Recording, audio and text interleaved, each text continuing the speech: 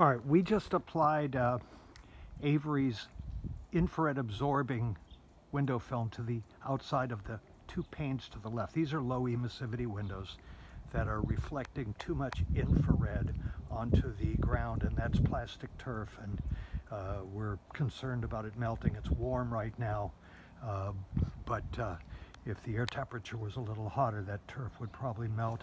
Let me walk around here so you can get a little better view of where the offending rays are falling.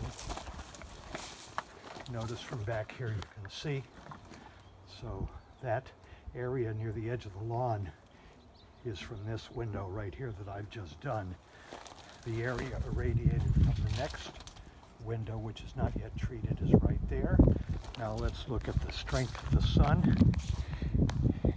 The BTU meter, 264 BTUs. This calibrates it and calls it 100%.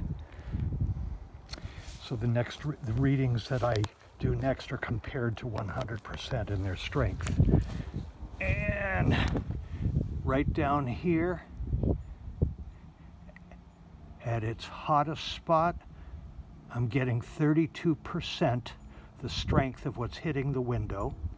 And over here, where was it?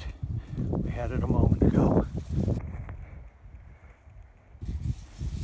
Where's a hot spot here? Ah, you see, it's not hitting the plastic grass right now. It's hitting the agapanthus at 138% the strength of what is hitting the window.